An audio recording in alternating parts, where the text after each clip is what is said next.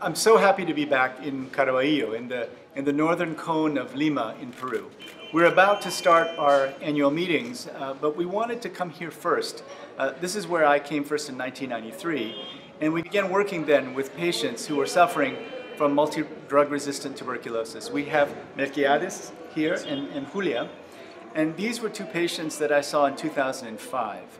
Uh, they were both gravely ill, and in 1995, when we first started the treatment program, the entire world was saying it's not possible.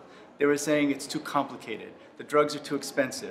Uh, the poor in Peru suffering from drug-resistant tuberculosis will simply have to die. You know, we've seen other declarations just like that. Well, things have changed. We at the World Bank uh, group have changed. But we should never forget the lessons that we learned from Melquiades and Julia.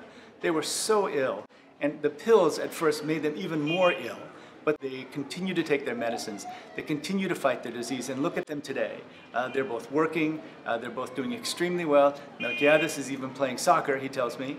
So the one thing that will be most dangerous to our efforts to end extreme poverty and to boost shared prosperity is to have low aspirations. We have to believe that everything is possible. We have to rely on evidence, of course, but we learn from situations like this that when we say things are impossible, uh, we have to think again. We're in the business of development.